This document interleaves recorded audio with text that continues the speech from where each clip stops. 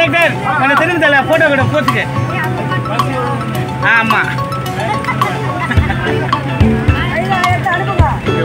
Ah okay sir okay sir.